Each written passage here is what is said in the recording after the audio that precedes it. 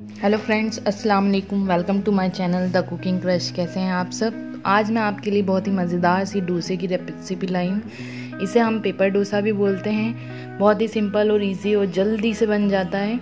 With in minutes तो आइए recipe को स्टार्ट करते हैं। उससे पहले अगर अभी तक आपने हमारे चैनल को सब्सक्राइब नहीं करा है, पहली बार हमारे चैनल पर आए जल्दी से चैनल को सब्सक्राइब कर लीजिए। पास ही बेल आइकन है, उसको ज़रूर प्रेस करें। तो डोसा बनाने के लिए यहाँ मैंने हाफ़ कप सबसे पहले सूजी लिए।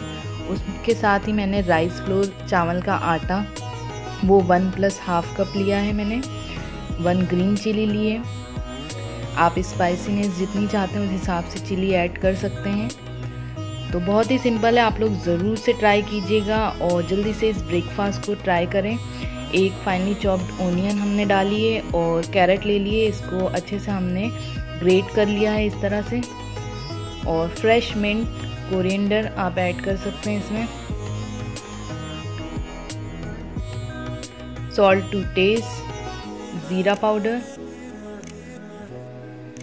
और थोड़ा सा चाट मसाला। ये ऑप्शनल है, आप डालना चाहें तो डालें, वरना इससे बहुत बढ़िया फ्लेवर आता है। मैं कहूँगी आप ज़रूर डालें। और ड्राई मिंट को हमने क्रश करके ऐड करा है। और साथ ही हमने इसमें दो कप पानी डाला है।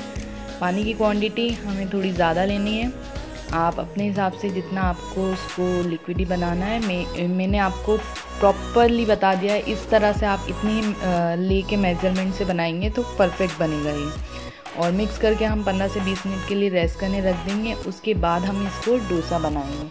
यहाँ हमारे 15 से 20 मिनट हो गए अब हम डोसा बनाते हैं। पैन को हमने पहले अच्छे से गर्म कर लिया है, उसके बाद फ्लेम स्लो कर दिए और फिर हमने डोसा इस तरह से हमने डाला है। आप चाहें तो बाउल की हेल्प से भी आप बना सकते हैं, डाल सकते हैं। फिर हमने थोड़ा सा ऑयल इस पर लगाया है और हल्का सा फ्लिप कर लिया है। ये देखिए, झटपट से तैयार हो गया हमारा पेपर डोसा। बहुत ही सिंपल है, इसी तरह से हम बाकी और भी बना लेंगे। और उसके बाद हम ये बढ़िया सा ब्रेकफास्ट इंजॉय करेंगे। तो आप लोग ज़रूर से ट्राई कीजिएगा और आपको अगर हमारा ये रेसिपी पसंद आई तो चैनल को लाइक करें वीडियो को लाइक ज़रूर करें कमेंट करके बताएँ कैसा लगा आपको हमारी ये ब्रेकफास्ट रेसिपी और आगे और रेसिपीज़ के लिए हमारे चैनल को सब्सक्राइब करना बिल्कुल भी मिस ना करें। तो आइए इन्जॉय करते हैं हम इसको। पीनट और ओनियन चटनी के साथ। आप इसको अचार के साथ भी खा सकते हैं। मिलते हैं ऐसी और रेसिपीज़ के साथ। तब तक के लिए बाय बाय